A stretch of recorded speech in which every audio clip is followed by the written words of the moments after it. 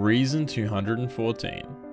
The Catholic Church's belief that salvation is not the result of a one off event, but must be continually worked out over time in cooperation with God's grace, is consistent with the teaching and experience of St. Paul.